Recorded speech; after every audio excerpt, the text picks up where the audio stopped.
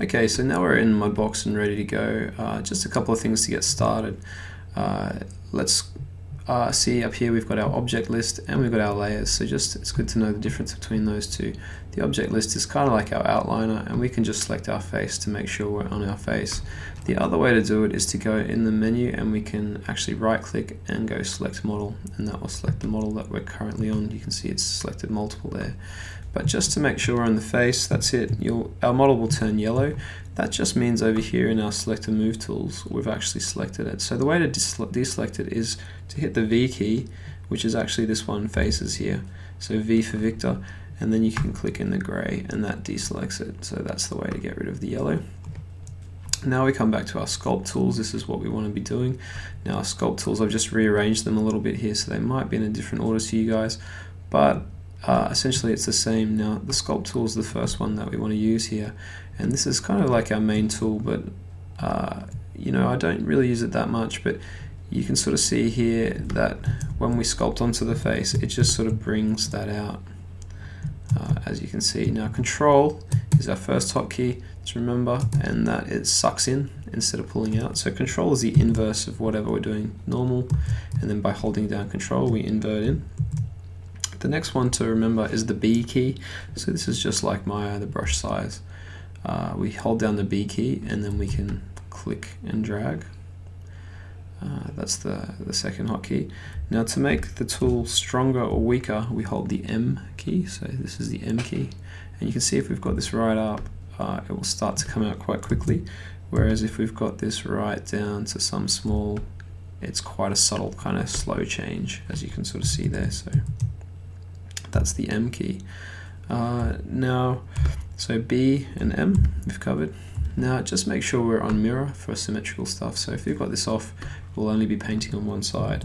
That's the default setting. So just come across here. Whenever you click on any of these these sculpt tools, the options will come up over here. So we can just come into X and now we're in symmetry mode. So that's how we do symmetry.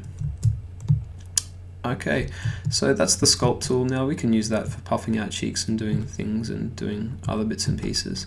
Uh, the other uh, next tool is the grab tool. So the grab tool is my favorite for facial expressions, and that's because we can sort of just grab and do things there and uh, move stuff around. So you can sort of see how that grab tool works. And we can kind of get in here and do very subtle type expression work.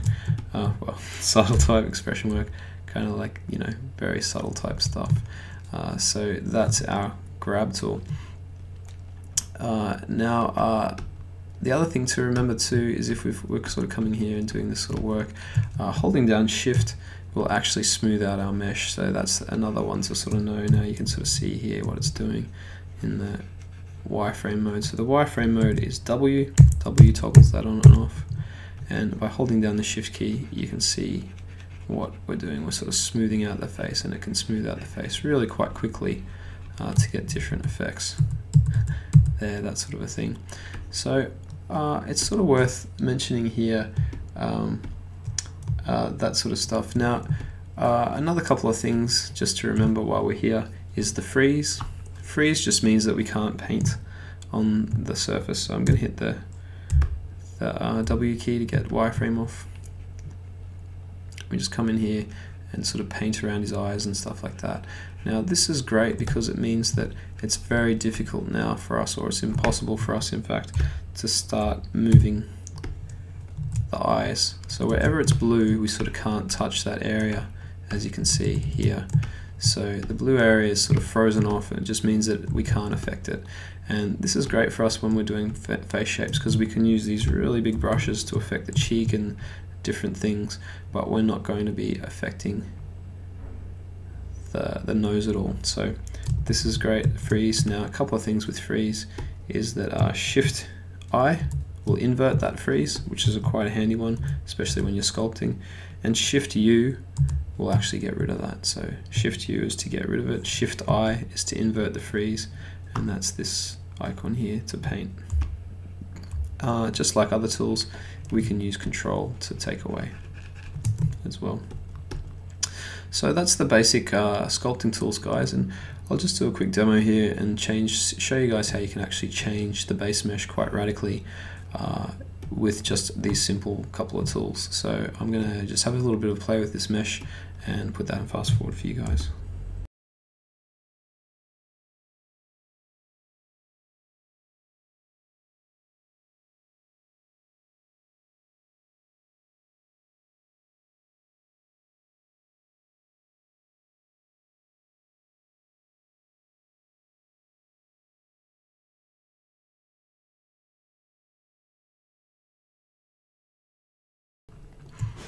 Alright guys, so there we go. You can see how I've uh, quite radically changed this mesh just with a few different tools and you know we can continue to come in here and really like change this further.